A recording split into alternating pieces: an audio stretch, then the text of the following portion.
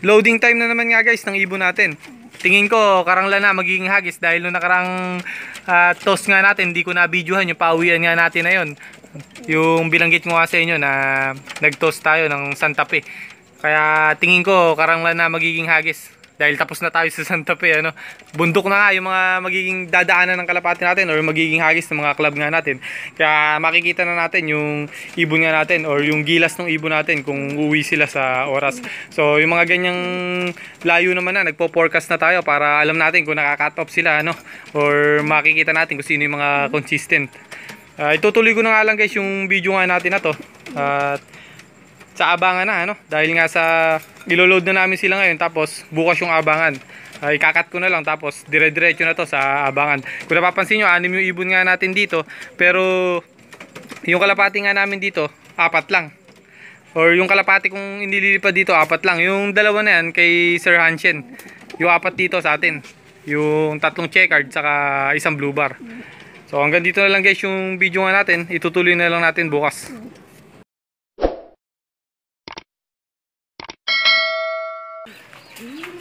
Meron na nga tayo guys dito na isang ibon na nakauwi. So 828 nandito na siya. So nag-forecast nga tayo kanina na 830 ang speedan 1.3. So 1.3 mahigit pa yung speed nga niya. Sayang ano, hindi pa kasi tayo sumasali sa pooling dahil nagtitipid tayo kasi marami tayong i-entryhan dyan eh. So, apat yung ibon nga natin kaya bala ko isali sa lahat kung sakaling magpa-laro or magpa-grand pooling, pre-pooling at derby nga ano, yung mga kalapati nga natin, balak natin isali sa lahat. So, yun nga ano, ayan, pinapapasok na nga natin. Pasok, pasok. Pasok, pasok. Pasok, pasok, pasok, pasok.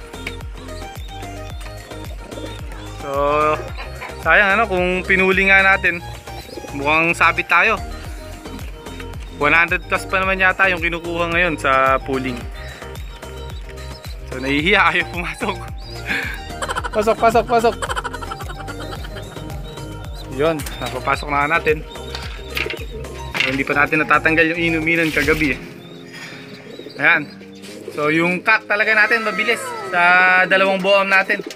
So nung habang papalayo, nagpapakita na siya ng bilis ano. So yung mga unang hagis nga na una hanggang pang-apat minsan nahuhuli pa siya.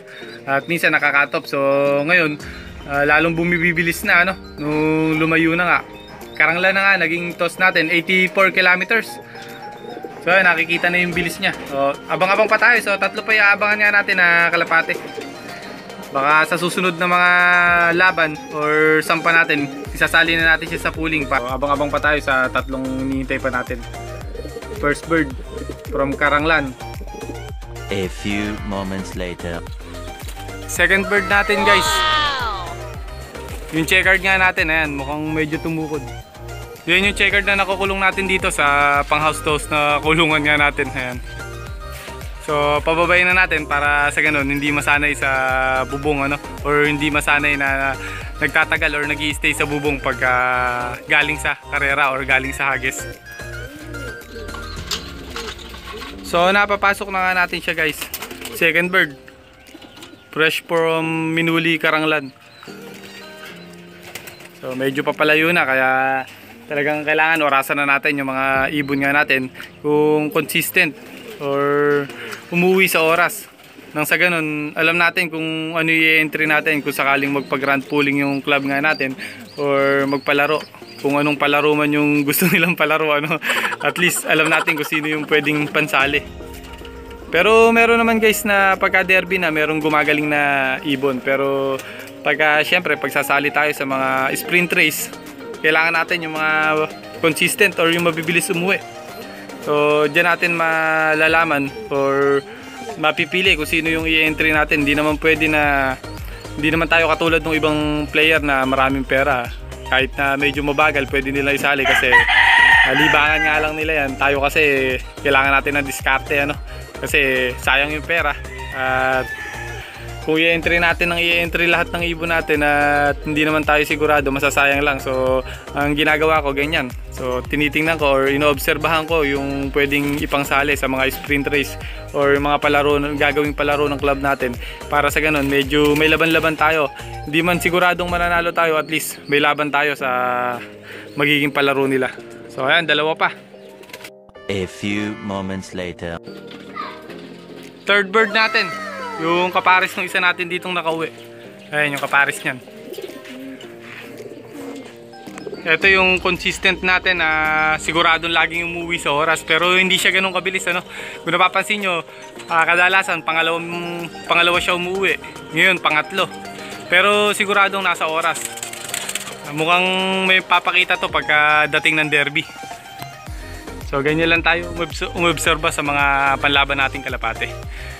Pagka medyo papalayo na talagang inoorasan natin, tinututukan na natin yung bawat pag-uwi nila para malaman talaga natin yung mga paano natin sila makukondisyon kung paano natin mapapauwi ng mabilis kasi ano yan eh gamayan din kasi sa kalapati yan pagka hindi mo nagamay kung paano mo kukondisyonin yung kalapati mo hindi porki pinapainom mo ng vitamins at pina, pinapahinga mo, kondisyon na kagad. Papasukin na rin natin. Ganda ng kondisyon nga niya. Medyo against the light kasi dito sa pwesto nga natin kaya medyo madilim pagka dito tayo nag ano nagbi-video. Kung napapansin nyo, yung kalapati natin sanay na sa atin ano. Kahit nalapitan natin, talagang hindi na sila lumilipad. Nung una-una nga nating video yan, pag nilalapitan natin ng ganito or nagsasalita tayo sa tabi nga nila, lumilipad sila. So ngayon, parang kom- komportable na yung mga kalapati nga natin sa atin. So ganyan lang ang gagawin nyo nga. Unang-una kailangan ah, maging komportable din yung kalapati nyo sa inyo. So pagka nakikita kayo, hindi sila basta-basta lumilipad. Kasi may time na kung napapansin nyo, kung sakaling nagre-race kayo, pagka nakita na kayo ng ibon nyo at nilapitan nyo, talagang lumilipad, ano? Nihintay nyo na kusa silang pumasok. Tayo, nilalapitan natin sila para mapapasok na mabilis. Pero yung ibang nag-iibon nga, Uh, lumalayo sa kalapate para pumasok na mabilis. Tayo lumalapit sa kalapate para pumasok na mabilis. So ganyan lang magiging nagiging technique nga natin ano. Sinasanay natin sila na mapapasok natin sila ng mabilis na tayo nagpapapasok, hindi yung lalayo tayo para pumasok sila ng mabilis. 8.49 nga guys natin ha, papasok yung kalapati nga natin na to. Ayan si Golagat. So ganda pa rin ang kondisyon nga nila ano. Ah, kayang-kaya nila pagka ganyan palang kalayo. So pagka ganito naman na ah, North Race, medyo nagbabawas tayo sa gamot kasi hindi ganun kalayo yung magiging race nga nila. Baka ma-off yung mga kalapati nga natin. Nagbabawas tayo ng gamot or vitamins. So hindi tulad sa South Race, kailangan talaga nila na yung vitamins nga nila talagang hindi pwedeng bawasan dahil ah, sa sobrang layo nung karera. So ayan. Isa na lang ang hinihintay nga natin. At yun nga yung kapares ni nung Boam lane nga natin na kak. One eternity later. Nakauwi na nga guys yung kauli-huli ang inaabangan natin na ibon. So cut off na nga siya at hindi na natin naabangan kung ano oras siya umuwi. Dahil nga sa may ginagawa tayo. At nung lumabas tayo nakita natin nandito na siya. Ah, naka-prepare naman na yung mahiwagang tubig na pinapainom natin sa kanila at nakainom na siya. Bali susubukan ko na lang siya ng mga sinusubo ko nga na pamparecover or para makaiwas tayo sa sakit. Mukhang medyo nahirapan talaga siya dahil ayan, lugmok.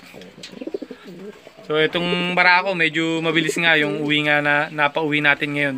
So hanggang dito na nga lang guys yung video nga natin at na natsyempohan lang natin na wala tayong gagawin ngayong araw kaya nakapag-video tayo ng abangan ng kalapate. Dahil nga sa kadalasan ngayon medyo nagiging busy tayo, hindi natin nabibidyohan yung mga abangan nga ng kalapate nga natin. So kompleto pa rin tayo from Minuli, Karanglan. So ingat kayo guys. God bless.